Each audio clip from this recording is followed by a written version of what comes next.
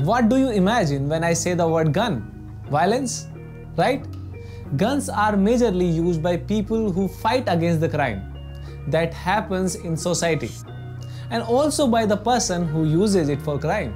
It's very dangerous equipment to handle and one should know how to use it before making the decision of using one. Guns pervade the society. Police officers carry them, wars are fought with them and also normal citizens have access to gun for their personal safety. There is not one type of gun but many and all of them have a different technique to use each one of them. Welcome back to Thought Control and today we are going to discuss how gun works.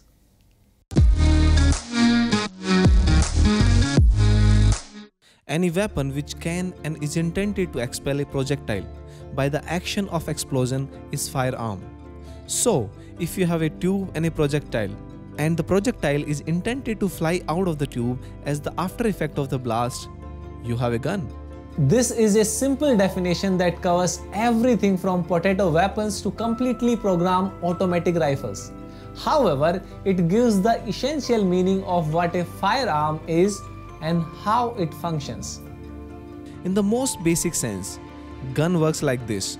A bullet is loaded into the rear of the barrel, which is a tube connected to the firing pin. Mechanically speaking, the trigger works as a catalyst that sets a sequence of events of starting with the discharge of the striker, which flies forward, striking a small explosive charge located in the base of the bullet.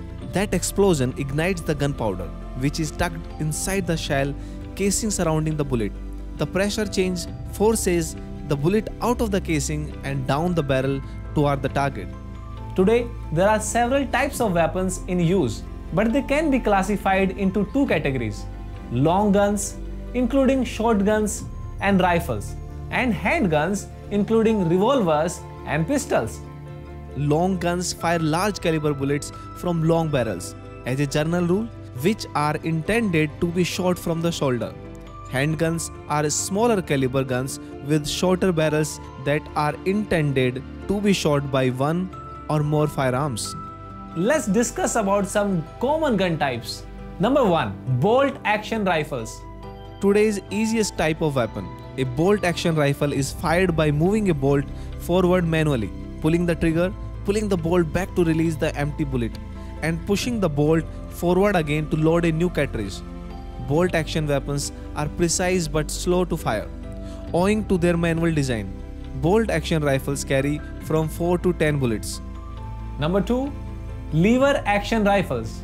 Dating back to the 19th century, these rifles are mostly used in western films. A pull of a lever attached to the weapon loads a new round. The trigger is pushed by the user, and the spent round is ejected by another pull of the lever and a fresh one is loaded. The lever position makes it much easier to shoot than a bolt action rifle. Number 3. Semi-automatic rifles. These guns can differ considerably but the general feature is that one bullet is released by each pull of the trigger and a new round is loaded automatically. These guns are often referred to as automatic weapons, but that term applies to the loading, not the shooting. And number 4. Shotguns. Shotguns are wide barrel long guns that for each pull of the trigger rather than a single round discharge a large number of small seed or lead pellets in a narrow cone shaped pattern. Number 5. Revolvers. Revolvers were the first multi shot handguns, mostly used in possession of movie cowboys, containing up to 7 cartridges in a rotating chamber, matching the pistol barrel and firing mechanism.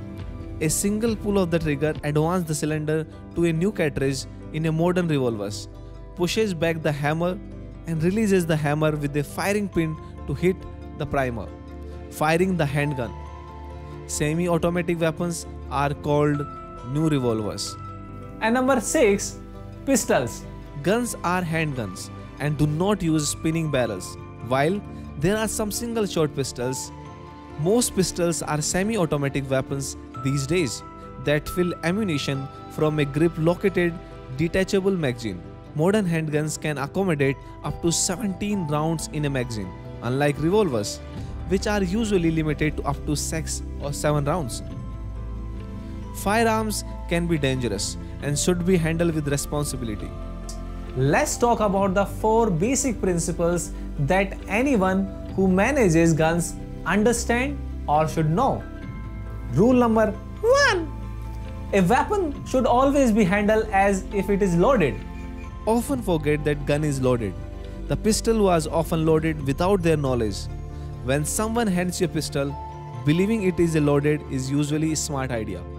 It's also a smart idea to physically check the gun in the chamber for a round, even if you have just seen someone else to do it. Rule number 2 The muzzle should always be kept pointing in a safe direction.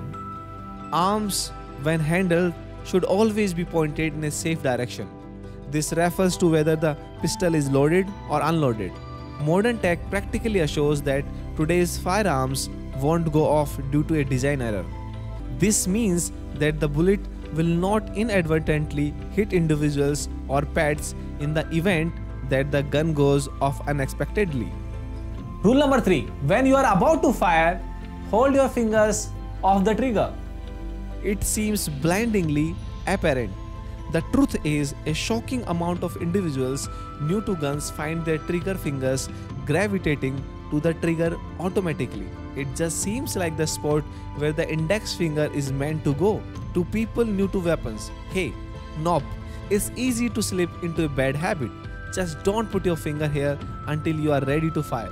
If the individuals carrying the weapons is shocked, jolted, pulled, or shoved, the trigger could be reflexively pressed by his or her finger. Rule number 4 Know the surroundings. A gunman creates tunnel vision by shooting a pistol with eyes fixed on the target. This makes it impossible to identify safely risk at the very last moment between you and your goal.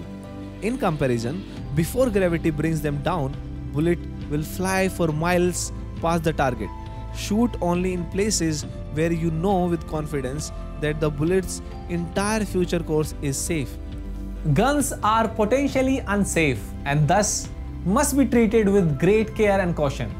The more you become acquainted with guns, how they work, and best practices for proper use, the more you can become responsible for a gun. Thank you so much for watching this video. If you have any feedback, please let us know in the comment section below. And do not forget to share and subscribe the channel. Bye bye. Hasta la vista. Tada. Tada. What's your name? What's your name? I don't know. What's your name? What should I call you?